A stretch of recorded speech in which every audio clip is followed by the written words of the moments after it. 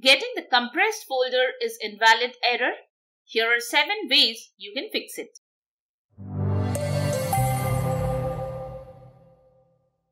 This is the Windows Club.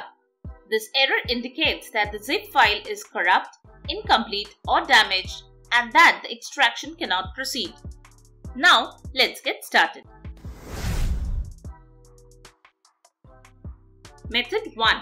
The first thing you can do is download the file again but to a different location. If possible, download the file from another website and see if it gives the same error. Method 2. The next thing you can do is disable the built-in zip support. Press the Windows plus R keys to open Run. Type regedit and press Enter. Navigate to the following key hkey underscore classes underscore root backslash cls id. Now delete this key. Restart your PC.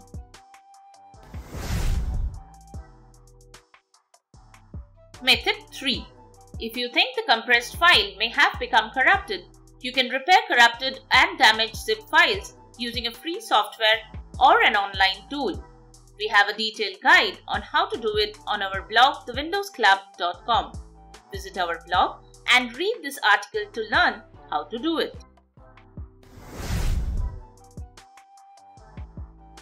Method 4. On a FAT32 formatted drive, the maximum file size is 4 GB. So if you carry out this operation for a file that is 4 GB in size, you can receive this error. In this case, you may need to change the partition from FAT32 to NTFS or transfer the file to an NTFS partition and try.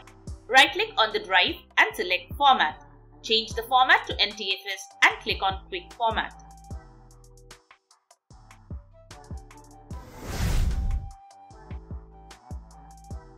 Method 5. If you're using a third-party decompression software, we recommend you uninstall the program Download its latest version from the official website and then reinstall it and see if it makes the problem go away. Method 6. Another thing you can do is uninstall your current compression tool and use another file compression software like 7-zip or PeaZip etc. Method 7. Another thing you can try is to repair the Microsoft Visual C++ installation on your computer.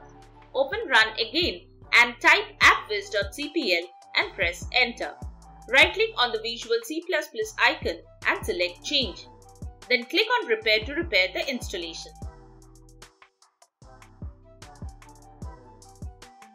So that's it. Subscribe to the Windows Club for all your tech solutions related to Windows.